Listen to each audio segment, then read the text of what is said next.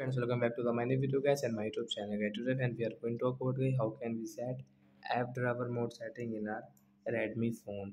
Guys you can see guys if you swipe so then you can see your app icon like your app list do not come. And guys you can see this google or app open. So then how can we set guys app drawer mode? And then how can we use? Today i will show you in this video friends.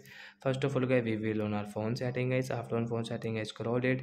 Hence you can see guys your home screen setting guys so guys tap here. Again guys you can see second option home screen. So once you can see with app drawer setting guys you can see. So we will tap here and guys you can see. We can swipe and we can use our app drawer mode setting. You can see guys. Now we can swipe. And we can use app drawer mode like that. So i hope friends you have understood how to set app drawer mode in our redmi phone. So that's it guys. Thanks for watching the video guys. We will meet on next video with new topic. Bye bye guys